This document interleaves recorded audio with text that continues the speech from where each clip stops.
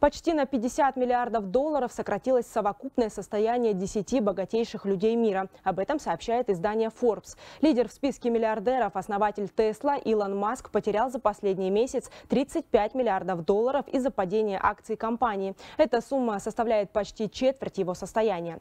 Также лишился части своих денег президент компании Louis Vuitton. Его доход на 10 миллиардов долларов. Однако, несмотря на общую картину, есть в списке Forbes и те, кто наоборот увеличил свое свое состояние.